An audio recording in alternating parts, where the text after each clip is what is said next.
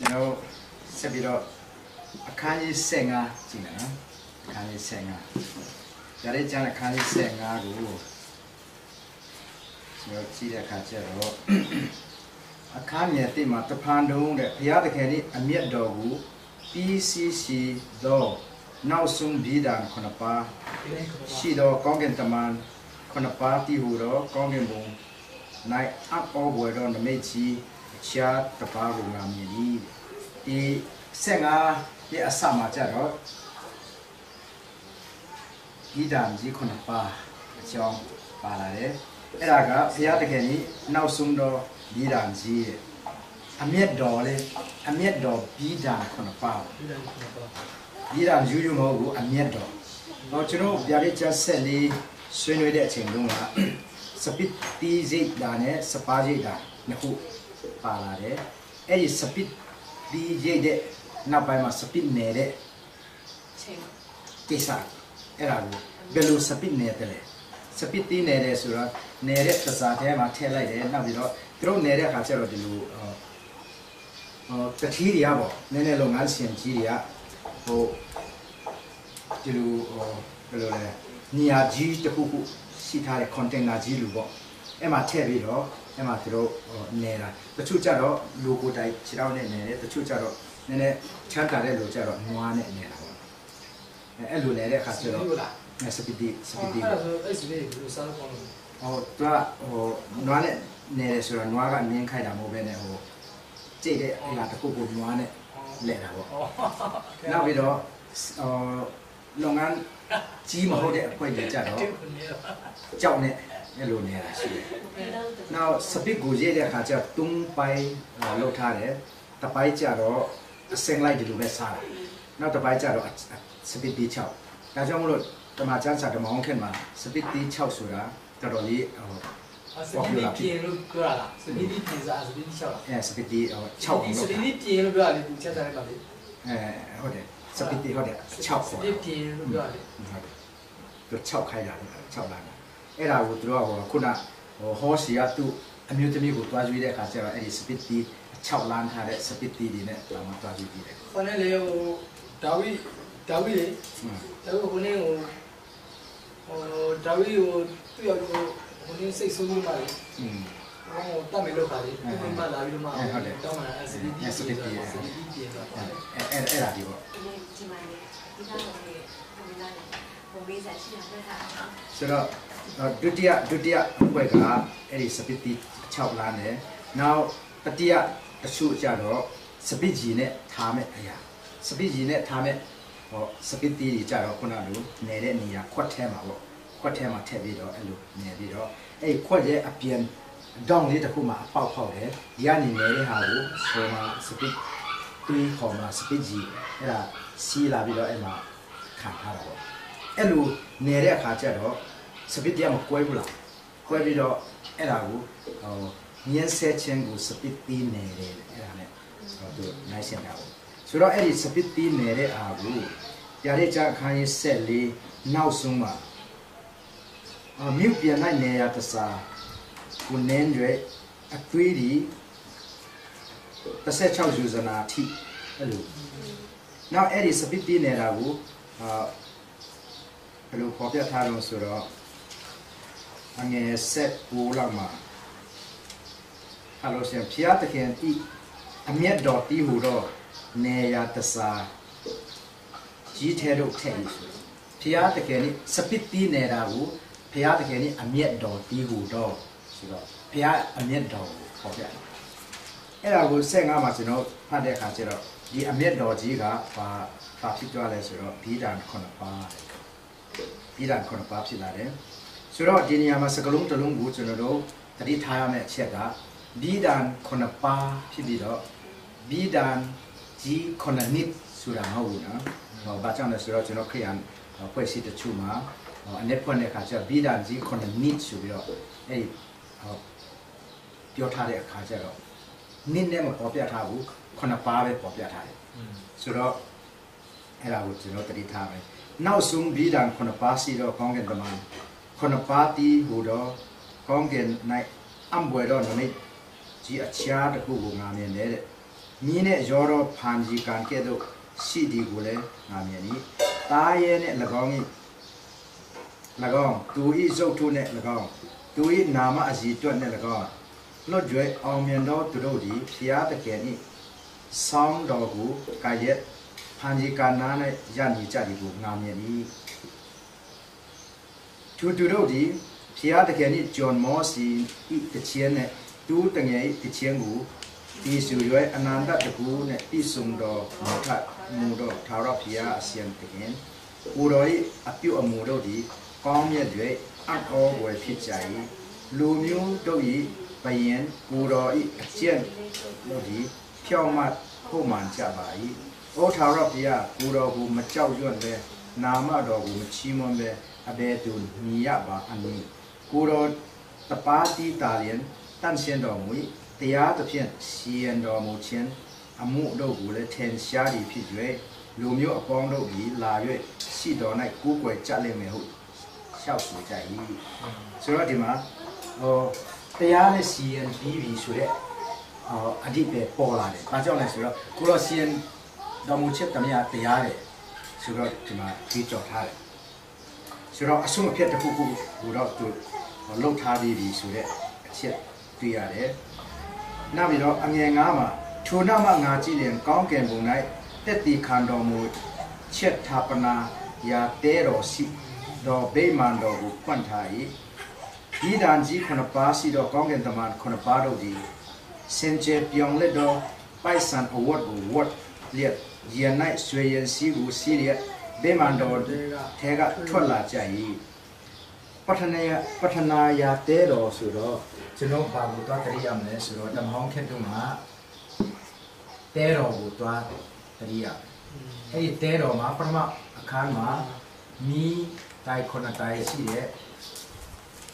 တရားတစ်ခုရယ်နောက်ပြီးတော့အနန္တမြေရှုတဲ့ပလန်နောက်ပြီးတော့မုတ်တင်ထားတဲ့စပွဲအဲ့ဒါရှိတယ်ပထမအခန်းမှာ နောက်ဒုတိယအခန်းမှာကျတော့ပထမအခန်းနဲ့ဒုတိယအခန်းကျတော့ကလကာနဲ့ကာထားတယ်ဒုတိယအခန်းမှာကျတော့ပရိညာတိတာကြီးရှိတယ်အဲ့ဒီပရိညာတိတာကြီးထဲမှာပရိညာတော်10ပါးထားထားတယ်အဲ့ဒီပရိညာတိတာရဲ့အဖုံးကဂယုဏပလန်ဆိုပြီးတော့အမေတန်လဲလေအဲ့ဒီဘီနာမှာခေရိုဘင်မပါကတောင်းတော့အုပ်ပြီးတော့ညီထားတယ်အဲ့ဒီအရာကိုခုနပေါ်ပြတဲ့အဲမှာကောင်းကင်မှာတက်တီခန္တော်မူချက် ထာပနာယာတဲတော်တက်ပြီးခန္တော်မူချက်ဆိုတာဓမ္မဟောင်းမှာဟိုထွတ်မြောက်ရချမ်းထဲမှာလက်လာတဲ့အခါကျတော့ဒီပိညက်ပိညက်တော်ဆယ်ပါးကိုရေးသားထားတဲ့ကြောက်ပြားကိုတဏှာမှာတက်ပြီးခန္ချက်ဆယ်ပါးရေးသားထားတော့ကြောက်ပြားတဏှာမှာပိညက်တော်ဆယ်ပါးရေးသားထားတော့ကြောက်ပြားတဏှာမှာပရိညံတိတာအဲ့လိုနာမည်အမျိုးမျိုးခေါ်ထားတယ်ဒါပေမဲ့ ဟုတ်အားလုံးကတော့အတူတူပဲဆိုတော့တက်တီခံတော်မူချက်ကိုထာပနာယာဆိုတော့ထာပနာယာဆိုတော့ထားတဲ့နေရာပေါ့ထာပနာယာစစ်တောင်းနေအာစုတောင်းပဋ္ဌာနာပေါ့အခုကျွန်တော်ကျွန်တော်မြန်မာနိုင်ငံမှာဘုရားဘာသာ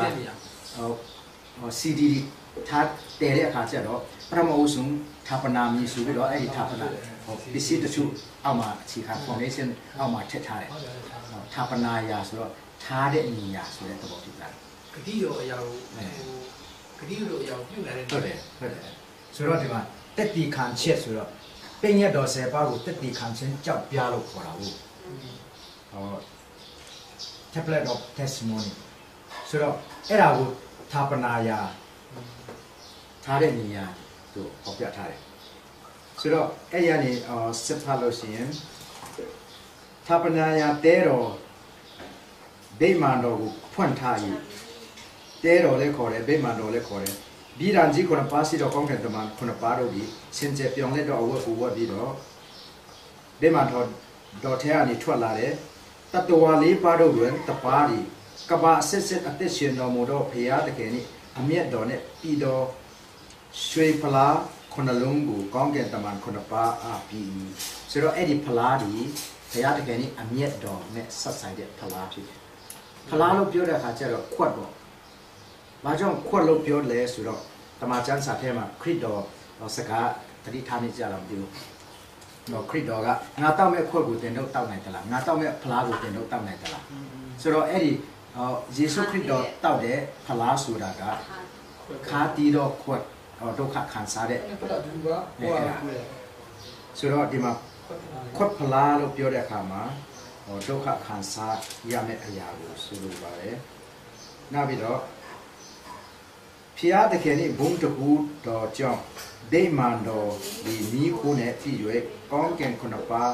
ကောင်းကင်တမန်ခုနှစ်ပါးဤတို့ကပါဤဘီဒန်ခုနှစ်ပါးမကုံမီတိုင်အောင်ဒိမန်တော်ထဲတော့အတေတူညမဝင်ရချင်ဆိုတော့ဒိမန်တော်ထဲတော့ဘယ်သူမှမဝင်နိုင်ဘူးဘာကြောင့်လဲဆိုတော့ ဒိမန်တော်ကဘာနဲ့တည်သွားလဲမိခိုးနဲ့မိခုနဲ့တည်သွားတယ်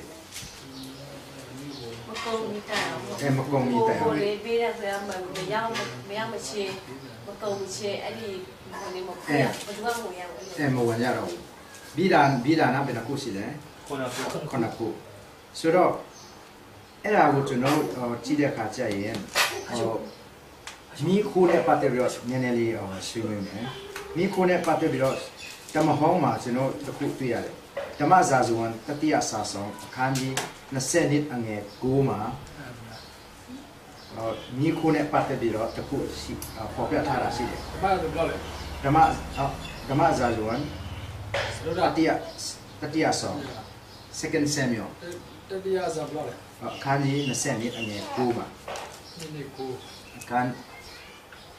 ဒီစနေဒီ20နှစ်အငယ်9မှာ မိခိုးဆိုတာဒေါသနဲ့ဟောနိုင်ရှင်ထားတာ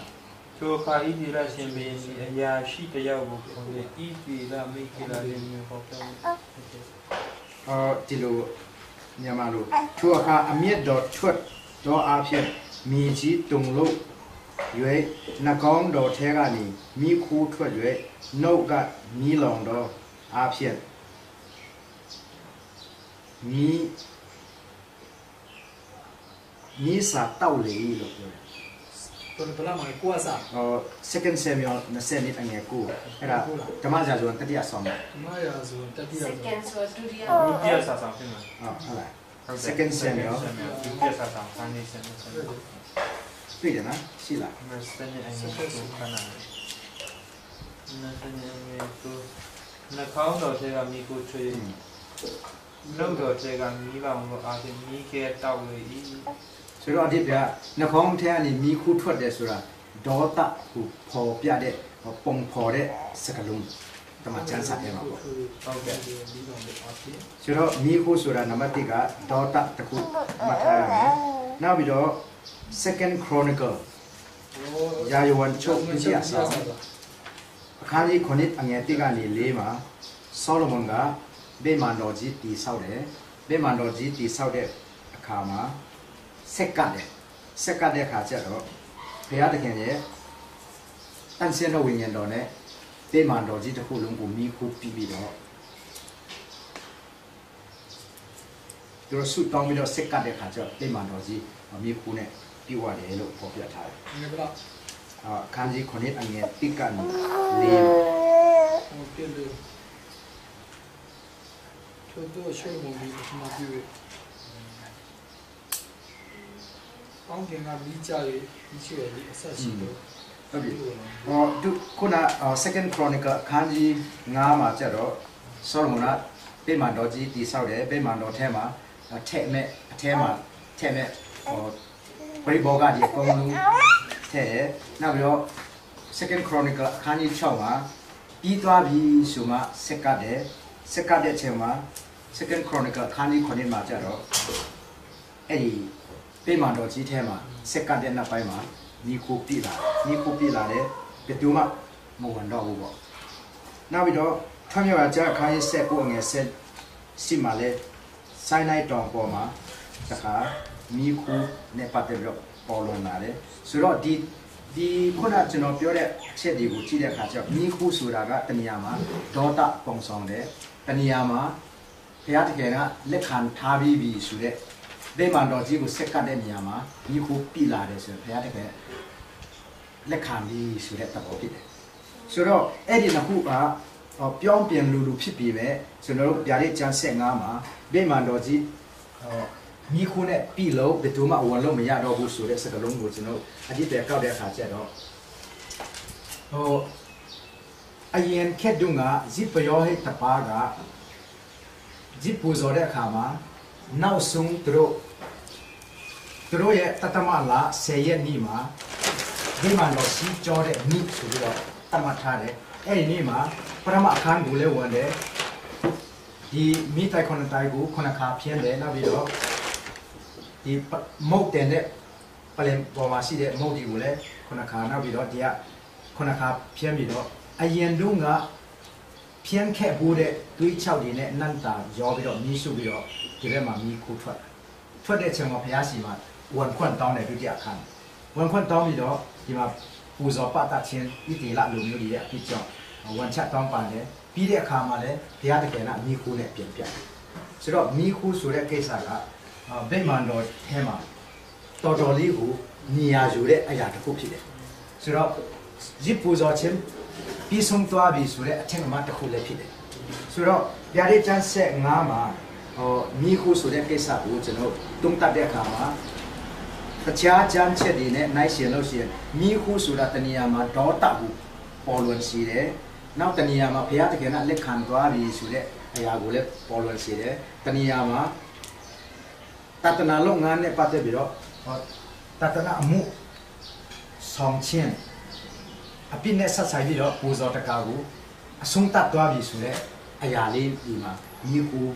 ဆိုတဲ့အရာပေါ်လာ။ဒါကြောင့်မလို့ဒီဟာကိုအနစ်ဖွင့်မယ်ဆိုရင်ကျွန်တော်တို့ကဟိုဗျာဒိတ်ချန်ဆက်လေးမှာကောင်းကင်တမန်တုံးပတ်တဲ့စကားဟောနေတယ်ဗျာဒိတ်ချန်ဆက်လေးနောက်ဆုံးပိုင်းမှာလက်ခံမဲ့လူနဲ့မလက်ခံမဲ့လူအော်စပစ်ဖြစ်မဲ့လူနဲ့နောက်ပြီးတော့စပါးဖြစ်မဲ့လူ ခွဲခြားထားပြီးပြီတူတူနဲ့စိတ်ခွဲခြားထားပြီးပြီဆက်လေးဆုံးပါလားအာဆက်လေးအဆုံးမှာခုနကျွန်တော်တို့ဟိုစပစ်နဲ့စပါ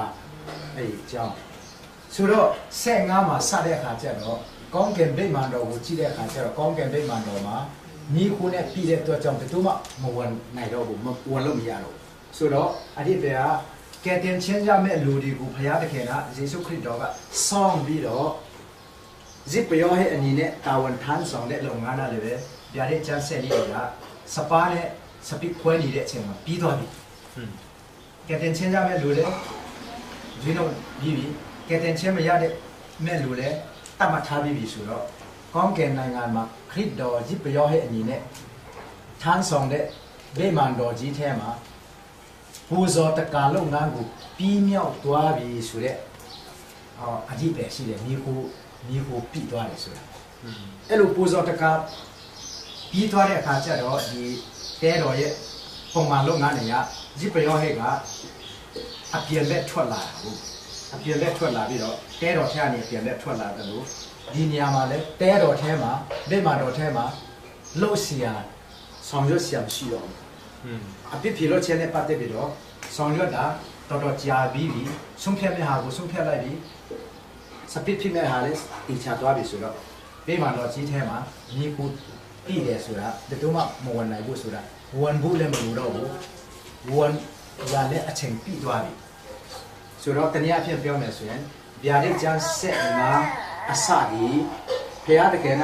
တီးအပ်တော်မူတော့လူသားများအတွက်ဂယုနာတခါဒီပြီးသွားပြီပိတ်သွားပြီဆိုတဲ့အကြည့်ပဲဖြစ်သွားတယ် အဲ့ဒါနဲ့ဂယုနာစကားလက်ပိတ်သွားတဲ့အခါကျတော့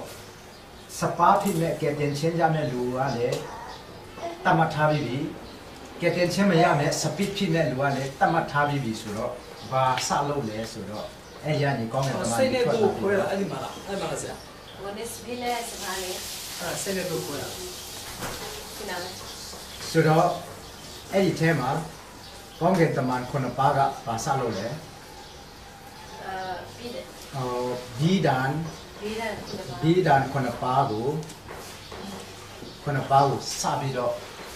ကဘာပေါ်မှာလောင်းချတယ်အဲ့ဒီဒီဒန်လောင်းချတာကိုဗျာဒိတ်ချန်ဆက်လီဆူတော့မရစပါအမို့စပစ်ဒီနင်းနေတယ်လို့ပြောဟုတ်နော်ဆိုတော့နောက်ကျွန်တော်ဟောကြရှိတဲ့အခါကျတော့အဲ့မှဒီခေရှိကြလာနေ လားဟောမကြွလာသေးဘူးမကြွလာသေးတယ်ဆိုဆိုတော့ကျွန်တော်ဟောအသွေးမျက်စိနဲ့မြင်နိုင်အောင်ဟောရတဲ့ဆက်လေးမှာသူ့အကြောင်းအရာနဲ့ပြောမယ်ဆိုရင်ကောင်းကင်နိုင်ငံဗိမာန်တော်ကြီးထဲမှာယေရှုခရစ်တော်အဖြစ်ပြောတဲ့အနေနဲ့ထမ်းဆောင်နေတို့အဲ့ဒီအဲ့ဒီအတော်တော်မှာလောကမှာကောင်းကင်တမန်သုံးပါတဲ့စကားကိုကြွေးကြော်နေကြတယ်ကြွေးကြော်နေပြီးတော့ကြွေးကြော်ရင်ကြွေးကြော်ရင်နဲ့လက်ခံမဲ့လူလဲ ကုန်သွားပြီဒစိတ်ထုပြီးဟောမလက်ခံမဲ့လူလဲကုန်သွားပြီဆိုရင်လက်ခံမဲ့လူကြတော့ဘုရားတကယ်ကသူ့တစိမ့်နဲ့သူပြီးလိုက်ပြီအာအဲ့ဒစိတ်ထုတော့နော်အဲတစိမ့်ထုတ်သွားပြီပေါ့စပိလေစပိလေစပစ်လဲစပစ်တစိမ့်ရသွားပြီသူသူอืมတာရဲ့တာရဲ့တစိမ့်ပြီးသွားပြီအဲ့လိုဖြစ်တဲ့အခါကျတော့ပြီးသွားပါပြီလုပ်ငန်းပြီးသွားပြီဆိုတဲ့အခါကျမှခရစ်တော်ကအဲ့ဒီဗိမာန်တော်ထက်ကနေထွက်လာပြီးတော့ အဲ့ဒီဗိမာန်တော်ထက်ကနေထွက်လာတဲ့အချိန်နဲ့ကဘာကူဆဲလာမဲ့အချိန်ကြာဘယ်လောက်ကြာကြာရှိလဲတော့ကျမ်းစာထဲမှာမသိဘူးတော့တော့လည်းပဲခရစ်တော်ကလောကကိုလည်းမစင်ဒီဘူးဗိမာန်တော်ထက်ကနေလည်းထွက်သွားပြီအဲ့ဒီအချိန်မှာမိဒာကြီးခုနှစ်ပါးကကြာမယ်ကြာလာအဲအဲ့ဒီတဘောဆိုတော့ဆက်ဆက်ချောက်မှာကျွန်တော်ကြည့်ရအောင်ဆက်ချောက်မှာပြီးတာဟောကြီးဆရာအဲ့ဒါဆိုလို့ရှိရင်ဟိုကောင်းကင်တမန်လေးဟိုလေကို ငိမ့်နေရောသူကြိုင်လဲအဲ့ဒီဟာကသူလွတ်လိုက်ပြီလားအဲလွတ်လိုက်တဲ့သဘောဖြစ်သွားပြီအာအဲ့ဒီခုနပါရတာနဲ့အဲကြောင်းလာပြီဘာကြောင့်လဲဆိုတော့ကောင်းကင်တမန်လေးပါးကလေးကိုထင်းထားတယ်ဆိုတာလောကမှာဘုရားတခင်နဲ့လုပ်ငန်းလည်းမပြီးသေးဘူးကောင်းကင်မှာယေရှုခရစ်တော်ရဲ့ဇစ်ပရောဟိတ်လုပ်ငန်းလည်းမပြီးသေးတဲ့အတွက်ကြောင့်ခဏလေးအနောက်ဆက်ဖြစ်တဲ့ဟာကိုထင်းထားတာအခုကပြီးသွားတဲ့အခါကျတော့ဒါလည်းလွတ်လိုက်ပြီလွတ်လိုက်တဲ့အခါကျတော့အကုန်လုံးဖြစ်ချင်တာဖြစ်ဆိုတဲ့သဘောမျိုးနဲ့လွတ်လိုက်တယ် အဲ့ဒီလွတ်လိုက်တဲ့အခါမှာဘိဒံခုနှစ်ပါးလည်းစလာရောပြည်တော်ခုနပါဆက်လာတဲ့အခါမှာဘာတွေဖြစ်ပြလဲဆိုတာကျွန်တော်တို့ဟိုဗျာဒိတ်ကျန်အခန်းကြီး16ဖတ်ရအောင်အခုကျွန်တော်အလိုလိုနဲ့ဟောဗျာဒိတ်ကျန်16ရောက်တာကျောက်တော့ရောက်ဘိမန်တော့ချက်ကဘဲမန်တော်ထဲကကြီးတော့အတန်ကတွားကြတော့ဘုရားတကယ်ကြီးအမျက်တော်ဖလားခွန်လုံးကိုကြီးကြီးပေါ်တော့သုံးလုံးကြတော့အခုကောင်းကင်တမန်ခုနပါတော့ကရောဆိုဒီကိုငါကြား ပြီပရမတူဒီတွားရွယ်မိမိဖလားကိုမြေကြီးပေါ်တော့တွန်းလောင်းလျင်တာရဲ့တစိမ့်လက်ဤတစိတ်လက်မကိုခံရွယ်ဝေဇုတ်တုကိုကွယ်တော့လူတို့၌လွန်ဆူတော့အနစင်းကိုပေါက်လေပရမတစိတ်ကပါလေ oh sorry ပရမတစိတ်မဟုတ်ဘူးပရမဘီဒါတာကရဲ့ဤတစိတ်ဘာပြီးတာတာရဲ့ဤတစိတ်တာရဲ့ဤတစိတ် number ရတော့သူပေါ်မှာနာစိတ် အနစင်းပေါက်တယ်အနစင်းပေါက်တယ်ဆိုတော့တာရဲ့အစုပ်အာရုပ်ထုနံပါတ်ဆိုတာကျွန်တော်ဆွေးနွေးပြီးပြီနော်ဆိုတော့ခရစ်တော်ဤကတဲ့ချင်းဘူးလက်မခံတဲ့နဲ့ညံစံတော့သူများလို့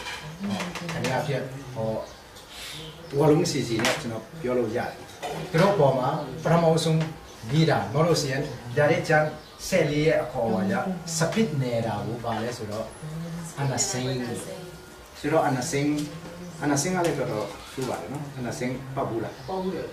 တော်ဟောတင်တော့ကောင်းဆက်အဲအဲ့ပုံဆောင်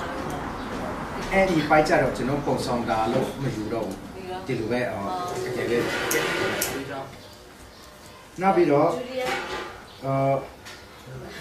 အငယ်သုံးမှာဒုတိယကောင်းကင်တမန်လေးမိမိဖလားကိုပယ်လေပေါ်လို့သုံးလုံးလျင်ပယ်လေဒီလူတီအသွေးဖြစ်ပြီးပယ်လေ၌အသက်ရှင်သောတတ္တဝါပေါင်းတို့သည်တည်ကြ၏ဒုတိယကပင်နေလိုက်ပြီးလေဒုတိယက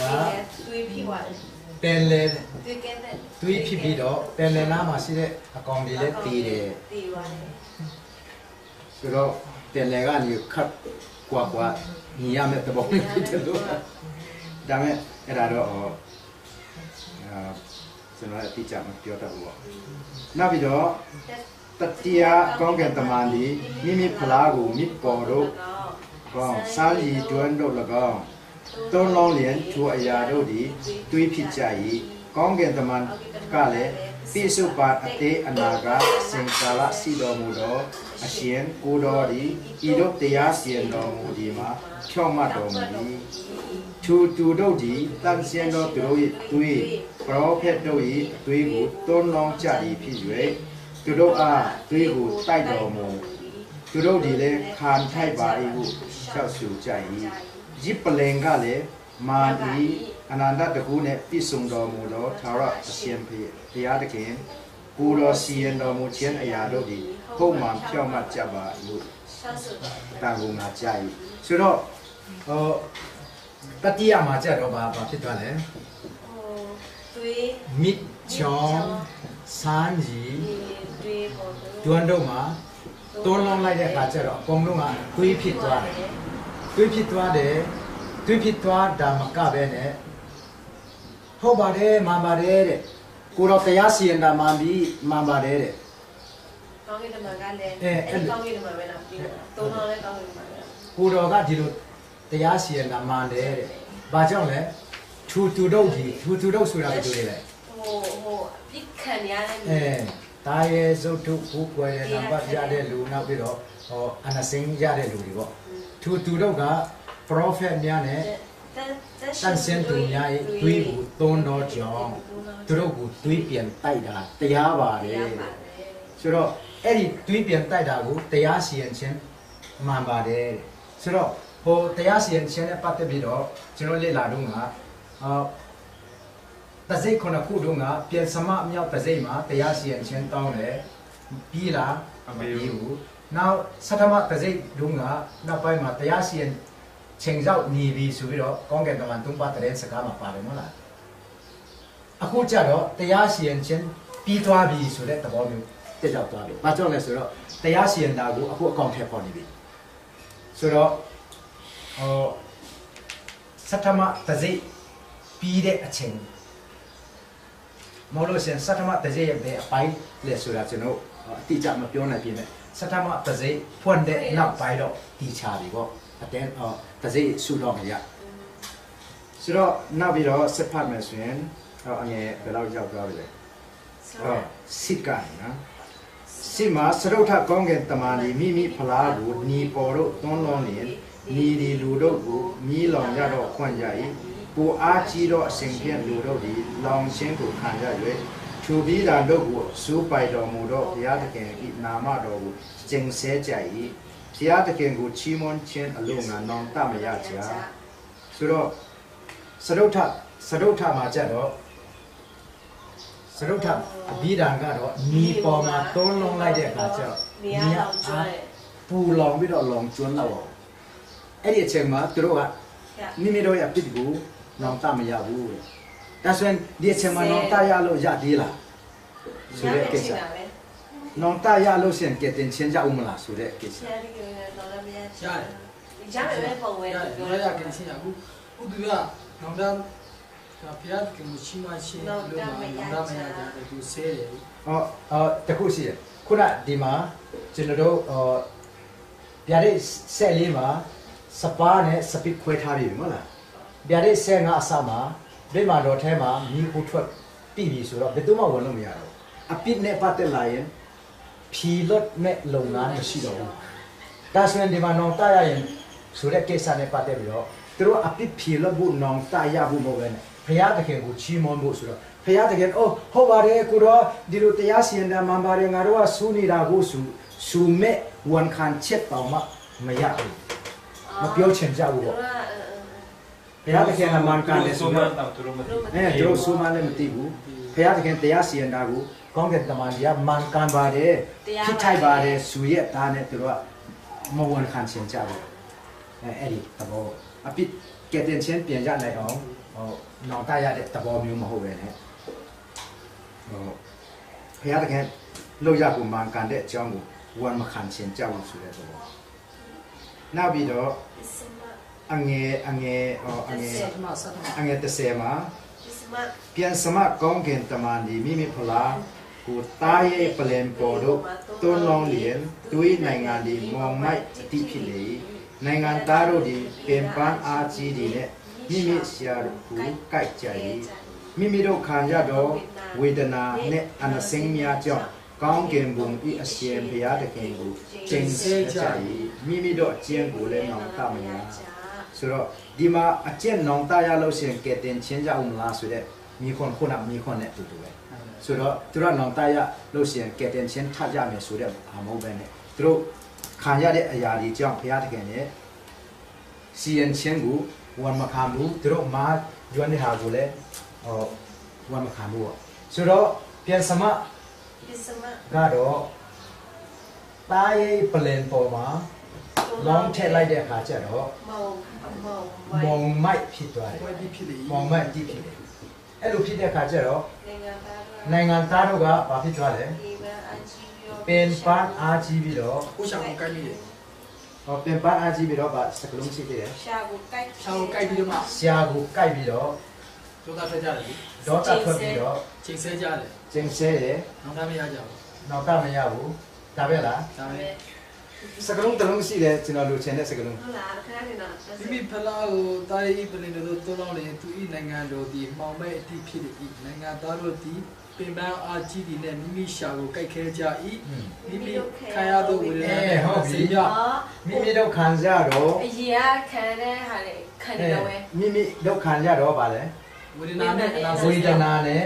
နာစိတ်များကြောင့်ဝေဒနာ plus အနာစိန် တစ်စိတ်တို့ကြောင့်ဘုရားသခင်ကို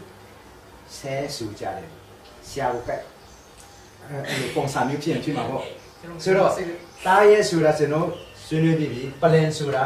ဩဇာတက္ကမတက်ရောက်တဲ့ area နဲ့သတ်မှတ်လို့ရှိရင်တက္ကဘာလုံးဗျာဒိတ်ချမ်းဆက်တုံးမှာတက္ကဘာလုံးကတားရဲနောက်လိုက်တယ်ဆိုရင်သူ့ရဲ့ဩဇာတက္ကမတက်ရောက်တဲ့နေရာတက္ကဘာလုံးဖြစ်သွားပြီဖြစ်သွားတော့မော်မိုက်တိကလည်းတက္ကဘာလုံးမှာ တက်ကြောင်မဲ့သဘောဖြစ်သွားတယ်။အဲ့ဒီအချိန်မှာသူတို့ကနိုင်ငံသားတွေကရှာကိုကြိုက်တယ်မိမိတို့ခံစားတဲ့ဝေဒနာဆိုတော့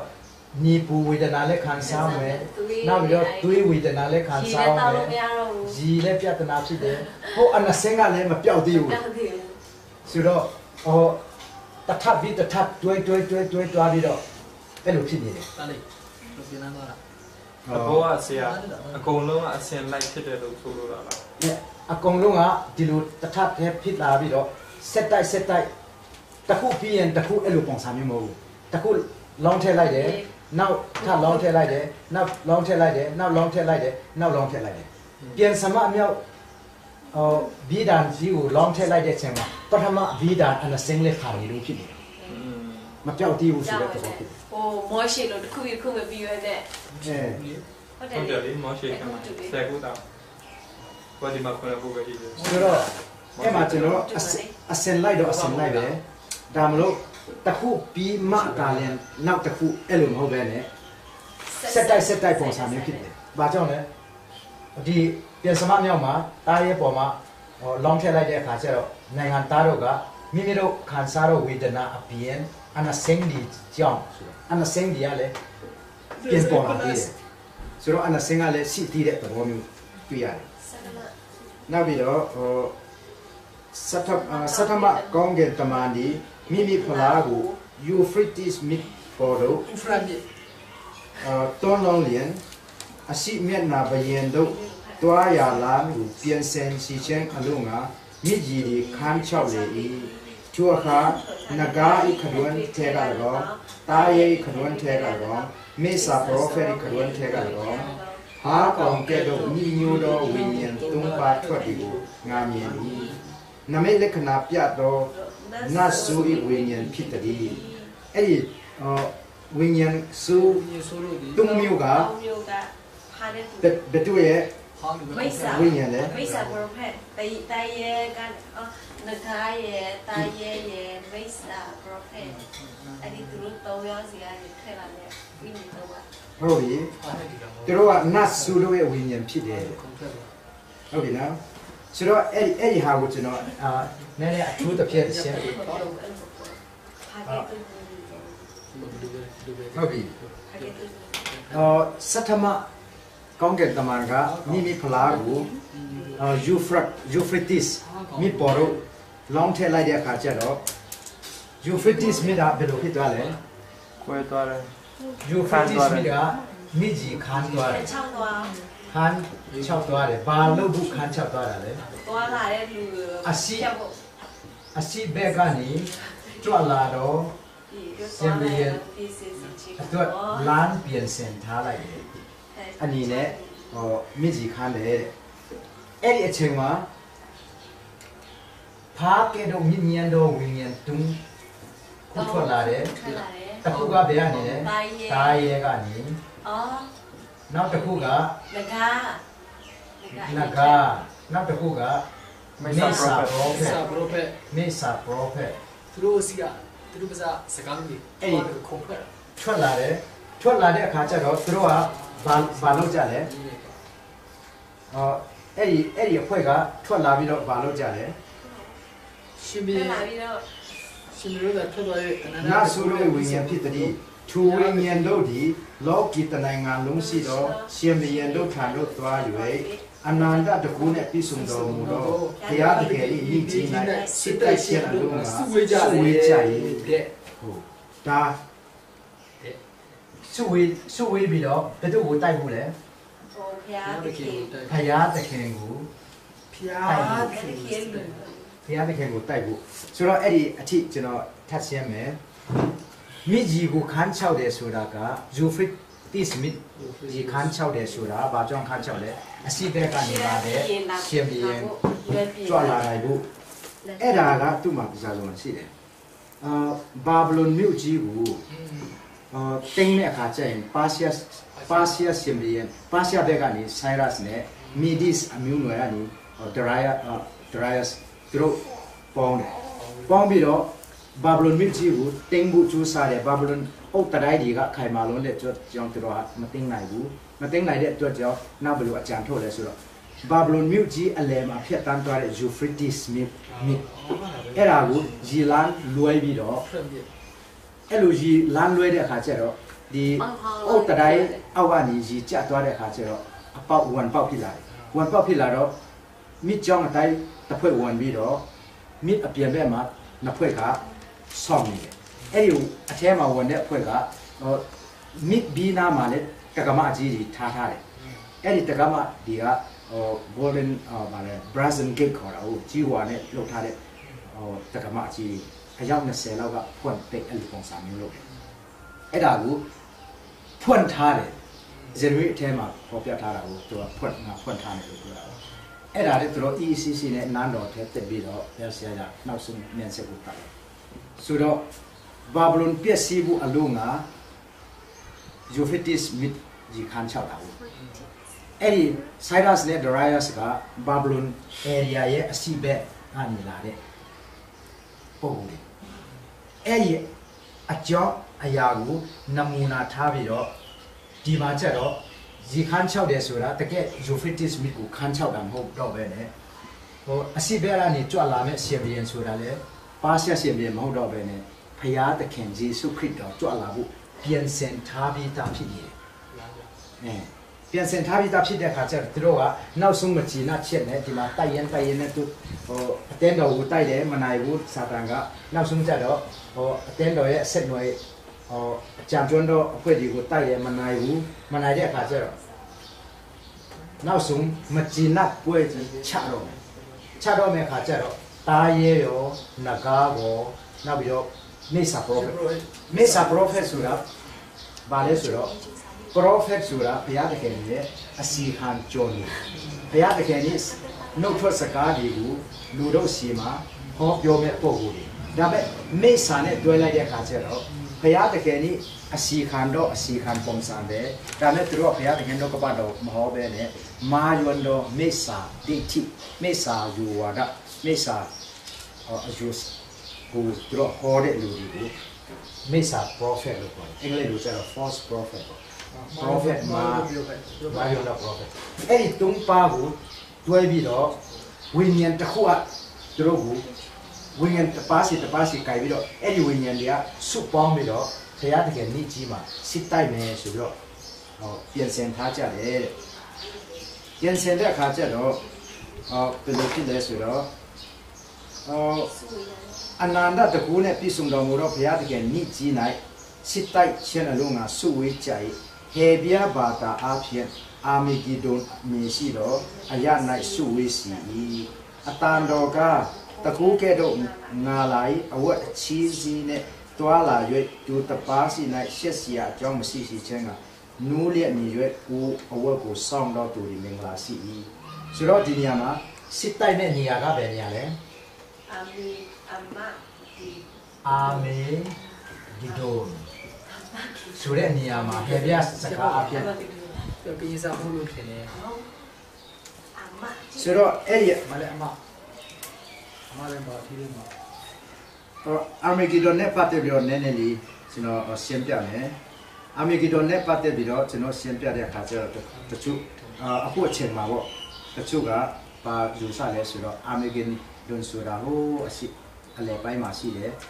နောက်ဆုံးမှာအာမေဂီဒွန်စစ်ပွဲဖြစ်တဲ့အခါကျတော့ဟိုမှာတွားပြီးတော့တိုက်မယ်ဆိုတဲ့သဘောမျိုးနဲ့အဲ့ဒီကစမယ်ပေါ်ပြသွားထားတယ်တယ်အဲ့ဒီကစမယ်အဲ့ဒီကနေစမယ်လို့သူတို့ယူဆထားတယ်ပေါ့တကယ်တမ်းမှာကျတော့ ဟောကျွန်တော်လေ့လာတဲ့အခါကျတော့ဒီစစ်တိုက်ပွဲကဘယ်သူနဲ့ဘယ်သူတိုက်တာလဲဒါရှင်နေဟိုဖျားရှင်နဲ့စင်စားတာစာတန်တိုက်ပွဲဖျားရှင်ဘက်မှာအမေတန်ဘယ်သူပါလဲဒါရှိပဲခရစ်တော်ခရစ်တော်ပါတယ်စာတန်ဘက်မှာဥဆောင်တာဘယ်သူလဲစာတန်ဒါဆိုရင်ဖျားနဲ့စာတန်တိုက်ပွဲကဘယ်နေရာဒီမှာတွေ့နိုင်လဲဒီအတိုင်းပါလေပထမ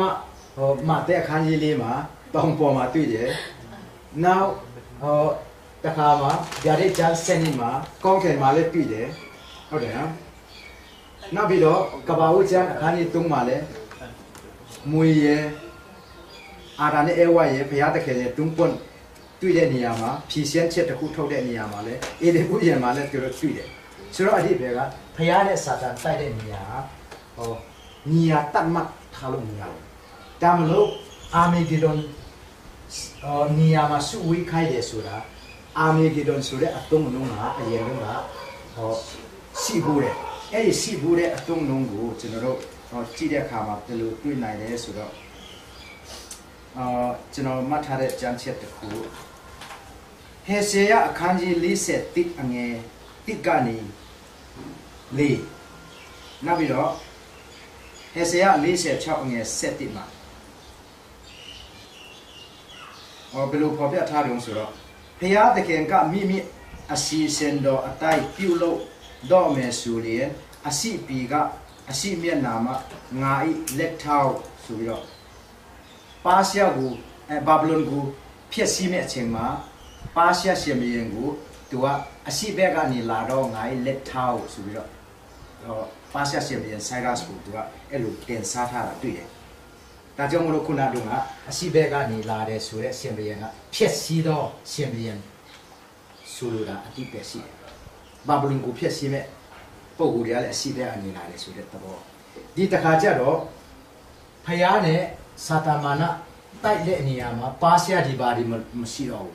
။ဒါပေမဲ့ဟိုတုန်းကအတုံးအနုံးကိုပြန်တုံးပြီးတော့အစီဘက်ကနေလာတယ်ဆိုအဲအဲ့ဒီအတုံးလုံးကိုတုံးထားတာဖြစ်တယ်။နောက်ပြီးတော့အာမီဂီဒွန်ဆိုတဲ့နေရာမှာ အာမေဂီဒွန်ဆိုတာဟေဗျာစကားနဲ့ဟာဆိုတာတောင်ဂီဒွန်ဂီဒွန်တောင်ပေါ်မှာအဲ့ဒီဟာကိုကျွန်တော်လေ့လာတဲ့အခါကျသူစာစုံလေးတစ်ခုတွေ့ရတယ်ဘယ်လိုတွေ့ရလဲဆိုတော့ဂျိုးဆွတ်ဆယ်နစ်အငယ်27မှာဂျိုးဆွတ်လို့ခက်တုံးကစစ်အန်အာဂျီနခုအမအာမေဂီဒွန်မှာတိုက်တယ်နောက်ပြီးတော့ second king ဓမ္မဇာဇဝန်စရုထဆောင်တာ အခန်းကြီး9အငယ်29မှာဣသရေလဒီနဲ့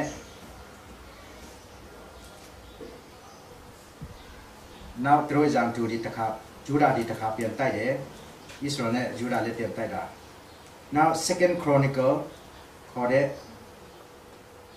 ဇာဇဝန်ချုပ်ဒုတိယဆောင်အခန်းကြီး35အငယ်20မှာ Egypt နဲ့ဂျူဒာပြန်တိုက်တယ်နောက်ပြီးတော့ဇခရာယ အခန်းကြီး7နှစ်အငယ်7မှာအာမီဂီဒွန်ဆိုတာငူကျွီးမီတန်းချင်းလွန်ပြင်းလို့တင်စားထားတယ်အာဟုတ်ပြီလားဆိုတော့အာမီဂီဒွန်ဆိုတဲ့နေရာခဏခဏစစ်တိုက်တဲ့လွန်ပြန်ကြီးတစ်ခုဖြစ်နေတဲ့အခါကျတော့အာစစ်မီပြန်တစ်ခုဖြစ်လာတယ်နောက်ဆုံးကျတော့မီငူငူကျွီးမီတန်းတဲ့လွန်ပြန်ဖြစ်ဆိုတော့အခုကအဲ့ဒီအာမီဂီဒွန်ဆိုတဲ့ နေရာဟာဖယားတခင်နဲ့စာတန်တိုက်မဲ့နေရာမှာဖယားတခင်နဲ့စာတန်တိုက်တော့တဲ့အချိန်မှာဟို Middle East မှာရှိတဲ့ Armageddon နေရာကိုတွားစီရမလို့တော့ပဲနဲ့တကဘာလုံးဟာသူတို့အတွက် Armageddon ဖြစ်စစ်မြေပြင်ကြီးဖြစ်သွားတယ်အာအဲ့ဒါမကဘူးကျွန်တော်လော်ကီပညာတိုးတက်လာတဲ့အခါကျတော့ဟိုအီရတ်ကိုအမေရိကန်နဲ့ပေါင်းပါတဲ့တိုက်တဲ့အခါမှာအမေရိကန်တွေကမစ်ဆိုရီ ဆိုတဲ့စစ်တမ်ဘောကြီးဒီကိုပါစပဲလေကိုမှာတွားထားလိုက်ရဲ့နောက်စီယုံတမ်ဘောကြီးကရင်နထောင်ခန့်ဆန်တဲ့စီယုံတမ်ဘောကြီးကိုလည်းပို့ထားလိုက်ရဲ့ပို့ထားတော့အော်ညမှာသူတို့ကအီရတ်နိုင်ငံအားလုံးကိုဟိုဟိုဗာလဲရည်ရနဲ့ပေါ့ကင်မရာရိုက်တယ်ရည်ရပေါ်ကနေကင်မရာရိုက်တယ်အဲ့ဒီကင်မရာဘယ်လောက်ကောင်းလဲဆိုတာကျယ်လီတလုံးအလင်းရတာနဲ့ပဲ ခုနမိုင်ကနေမြေပြန်ကိုကောင်းကောင်း flash ချင်းဟိုချိန်ပြီးတော့ရိုက်လို့ရတယ်အဲ့လောက် Time magazine ထဲမှာအဲ့လိုအဲ့ဒါနဲ့ရိုက်တဲ့အခါကျတော့သူတို့ကအော်အီရတ်နိုင်ငံမှာရှိတဲ့တရားကြီးဒီလက်နဲ့ထားတဲ့နေရာဒီဆက်သွယ်ရေးဌာနဒီအဲ့ဒါတွေအဓိကကျတဲ့နေရာတွေကိုရိုက်ရိုက်ရပြီးတော့ဓာတ်ပုံ600စာမျက်နှာ600ရတယ်စာမျက်နှာ600ရတဲ့ဟာကိုနေ့လယ်မှာ lecture ပြီးပြီးတော့ ခင်ဗျားကဒီနေရာကိုသွားတိုက်ခင်ဗျားကဒီနေရာကိုသွားတိုက်ဆိုပြီးတော့ lecture ပြီးပြီးမှညနေမူးထုတ်တော့မယ်ဆိုရင် tempo ပေါ်ကနေစစ် tempo ကြီးပေါ်ကနေ really start ပြီးတော့ view ဟိုပြန်သွားပြီးတော့ဟိုအဝေးကနေခလုတ်နေပြီးတော့ဒုံးချီနဲ့ချတာချတော့ဟိုတရားကြီးတွေဖြက်စီးတယ်နောက်ပြီးတော့ engineer တွေတားတော်လို့ခဏလေးနဲ့ပြန်ဆောက်တယ်တဲ့မုံတော်တော်တော်တယ် တရားကြီး major bridges ဟိုခုနှစ်ခုခုနှစ်ဆင်းလောက်ဖြက်စီးတယ်နောက်ဆုံးကြတော့ဟိုသူတို့ကတော့သူတို့ထင်တာနေဆက်ကနေတက်လာမယ်ထင်တာဟုတ်နေဆက်တက်လာမယ်ဆိုတော့ဟိုဆာရမူစင်ရဲ့ Republican ကတည်းအတီခံတတ်တယ်ပေါ့နေဆက်မှာချက်ထားတာတတ်ချက်ထားတတ်ချက်ပြီးတော့ပယ်လေကန်းချီမှာတက်တက်လာတဲ့တန်ဘောကိုမီးစုပလိုက်မယ်ဆိုတော့ရေနံကိုလောင်းထက်ပလိုက်ဒါတော့ရေနံတက်တက်ချမ်းသာတယ်ဆိုတာအဲ့ဒါကြောင့်တတိဆန်တွေအများကြီးတည်တာလေ ဟိုအဲ့ဒါနဲ့အမေရိကန်နဲ့အပေါင်းပါတီကကုန်းကြောင်းနဲ့မတိုက်တော့ပဲနဲ့ဒီကြောင်းနဲ့လေကြောင်းနဲ့တိုက်တဲ့အခါကျတော့တော်တော်လေးပြဿနာဖြစ်တယ်ပြဿနာဖြစ်တဲ့အခါကျတော့နောက်ဆုံးတိုက်ရင်တိုက်ရင်နဲ့ဟိုဆာရမပြောတာပေါ့ဟိုစလုံးစဟိုအစ္စလာမ်အားလုံးထကြအလာအတွက်စစ်တိုက်ဘူးအချိန်ရောက်လာပြီဆိုတော့ကြွေးကြော်တဲ့အခါကျတော့ဟိုအမေရိကန်ကတော့ပါတိုင်းရှိမဟုတ်ဘူးဟိုဒါနဲ့တိုက်ရင်တိုက်ရင်နဲ့နောက်ဆုံးကျတော့အမင်းပြီးတဲ့ comment center ကိုသူတို့တိုက်တယ် comment center ကိုတွားတိုက်တဲ့ခါကျတော့ဆက်တွယ်ရင်းနဲ့တွဲထားတဲ့အရာတွေအကုန်လုံးပြတ်သွားတဲ့ခါကျတော့စီတန်းမှာရောက်တဲ့ Republican ကဒီကိုသူအမင်းပြလို့မရတော့အမင်းပြလို့မရတဲ့ခါကျတော့ဟောအီရက်ကဘာဆွဲဆွဲလဲဆိုတော့အမေရိကန်ကဘာတာရေးလို့လက်ခွန် human right ပြောတာပြောတယ်မွတ်စလင်ဘုရားကျောင်းကိုဖျက်ဆီးတယ်ဆိုပြီးတော့ကြောင်ရအောင်ကြောင်ရတဲ့အခါကျအမေရိကန်တွေကသူတို့တိုက်တဲ့ပျက်စီးတဲ့ comment center နဲ့ communication telecommunication center ကြီးကို ပြပြီးတော့လာနိုဘယ်မှာရှိတဲ့မွတ်စလင်ဘုရားကျောင်းဘာမှဖြစ်တဲ့အကြောင်းကိုပြန်ပြလိုက်ရအောင်အဲ့လိုနဲ့ခြေတန်ရင်းနဲ့နောက်ဆုံးကျတော့ဆာဒမ်ကအမင်းပြလို့မရတော့စစ်တွေရဲ့အကုန်လုံးပြတ်တောက်သွားတယ်အပြင် British study ကဆာဒမ်ရဲ့ Republican ကဘူးတရင်ဇေခါပူတဲ့ကာတန်စီကြီးကိုညမှာ target တစ်ခုချင်းတစ်ခုချင်းပြ Now အမ Iraq ရဲ့စစ်တင်ကားရတော်တော်ကောင်းတယ်လို့ပြောတယ်ဆိုစစ်တင်ကားရသူဟာသူဒီလိုလဲပြီးတော့တဲကန်တဲထဲမှာမြုပ်ပြီးတော့အဲ့ဒီပြောင်းလဲပေါ်ပြီးတော့ဒီလိုပစ်တော်တော်ဒီကောင်းတယ်အဲ့ဒါလေးတွေတော့မှဟို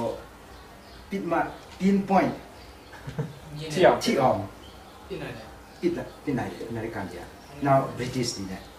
အဲ့လိုဖြစ်တဲ့အခါကျတော့ဟုတ်ကဲ့ဟောနောက်တန်းနဲ့စစ်တမ်းပြတ်သွားတဲ့အခါကျတော့စစ်တမ်းမှာရောက်တဲ့ Republican ကတီကအစားအစာမရှိတော့ဘူးအစားအစာမရှိတဲ့အခါကျပိုက်စားပြီးတော့ညီတဲ့အခါကျစစ်ပြတ်သူတို့ဘယ်လိုပြောလဲဆိုတော့ Iran နဲ့ Iraq ခုနှစ်စစ်တိုက်တယ်စစ်တိုက်တဲ့အခါမှာ breakfast စားအားတယ် volleyball ကစားအားတယ်ညနေထမင်းစားအားတယ်အခုအမေရိကန်နဲ့တိုက်တဲ့အချိန်မှာထမင်းစားဖို့အချင်းတော့မှမရှိတော့ဘူးအဲ့လိုရေးသားထားတယ်ဆိုတော့အဲ့လိုဖြစ်တဲ့အခါကျတော့ဟို ဆာရမလည်း Republican ကတီကိုအမင်းပြေလို့မရတော့တဲ့ခါကျတော့သူစစ်တမ်းမှာရောက်နေတဲ့ Republican ကတီကအမေရိကန်ဒီအမေရိကန်တွေကတော်တော်လေးကိုအထိနာနေပြီညှိုးနွမ်းသွားပြီဆိုတဲ့အခါကျမှကုန်းတက်ဟောခြေလက်တက်ပြီးတက်ခိုင်းတာတက်ခိုင်းတဲ့အခါကျခြေလက်တက်ဟောတပ်ပေါင်းစုတက်တဲ့နေရာတိုင်းမှာဟိုရစ်ရကန်ကတည်းကအလံဖြူကြီးကိုထောင်ပြီးတော့လက်နဲ့ချလက်နဲ့ချပြီးတော့ ခဏလေးနဲ့သူတို့ထင်တာထက်မြန်ပြီးတော့တင်သွား ဘယ်လိုလဲ ဟော အမေက အမေရိကန်တပ်ပေါင်းစုอ่ะအမေရိကန်နဲ့နိုင်ငံပေါင်းစုอ่ะဆိုတော့အဲ့ဒီအချိန်မှာခက်နေတာကတွားစီရမလို့တော့ပဲနဲ့အဝေးကနေမိုင်400မိုင်900အဲ့လိုပစ်နိုင်တဲ့လက်နဲ့ဒီအများရှိပြီဒါလောကပေါ့အခုမကဘူးဒီမှာဘုရားတကယ်နဲ့စာတန်စစ်တိုက်တဲ့အခါမှာလက်နဲ့ကြီးကိုအားမကူတော့ပဲနဲ့ဟို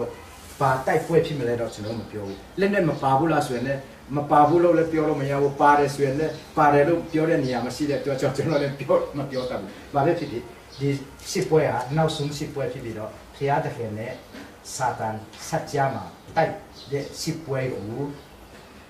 အာမီဂီဒွန်ဆိုပြီးတော့အဲ့ဒါနာမည်ပေးထားလိုက်တာအဲ့မှာလူကြီးအတက်မြန်လည်းတိုက်နေပြောတယ်လေအာမတော်ရင်ပိုင်ပါမှာပေါ့ကျွန်တော်ကြား။ဘာကြောင့်လဲဆိုတော့ ဟို prophet နေစာ prophet ဒီလည်းပါတယ်၊တားရဲလည်းပါတယ်၊လူသားတွေလည်းပါတယ်ဆိုတော့အဲ့မတော်ရင်ပိုင်ပါမှာကျွန်ပေါ့တော်ကြားသလားကဘာလဲဆိုလို့မျိုးသူကအခုခေတ်ကနောက်ဆုံးကာလစေရန်တွေကအရန်ထုံးထားတယ်။อืมနော်ဒီပြည်ကဘာညာကအကုန်လုံးထုံးထားတဲ့ကာလလားတိတ်ကထုံးထားတဲ့ကာလအဲ့လိုဆိုလို့ရှိရင်ဆရာနိုင်ငံပြစ်တဲ့ဒုံးကြီးကိုဒေတဲ့မှာပဲကျွန်တော်ခွဲခွဲလိုက်ဟုတ်လားမရှင်နဲ့ခွဲတယ်အမို့တန်တန်ဒုံးကြီးနဲ့ခွဲတယ်ဟုတ်လားကျွန်တော်နိုင်ငံလုံးဝမကြောက်ဟု တာလဲဒုက္ခအားနဲ့ခွဲတယ်စားမှတ်တယ်လို့အမျိုးမျိုးအမျိုး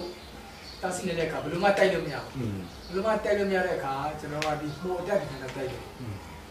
ဟိုအတက်ပြန်တဲ့ကြာဟိုတိတ်ပါအတက်ကဟိုတက်တဲ့ချမ်းစီဟိုတက်ပြန်တယ်ဒီလား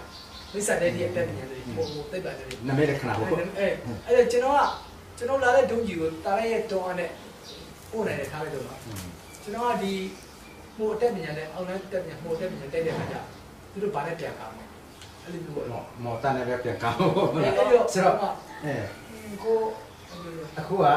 စတ္တမဘီဒန်ကိုခြုံပြီးတော့ကြည့်တဲ့အခါကျတော့စတ္တမဘီဒန်ကြီးတတမဘီဒန်မတိုင်ခင်လေးမှာနောက်ဆုံးဒုတိယဖြစ်နေတာကို second last ဖြစ်နေတာအဲ့ဒါကြောင့်မလို့အဲ့ဒါကိုကောင်းမွန်စွာလေ့လာကြည့်တဲ့အခါမှာတာရဲ့တော်တော်ကောင်းနဂါဆိုတဲ့စာတန်နောက်ပြီးတော့မေဆာပရောဖက် အားလုံးပေါင်းပြီးတော့ဘယ်သူကိုတိုက်လဲ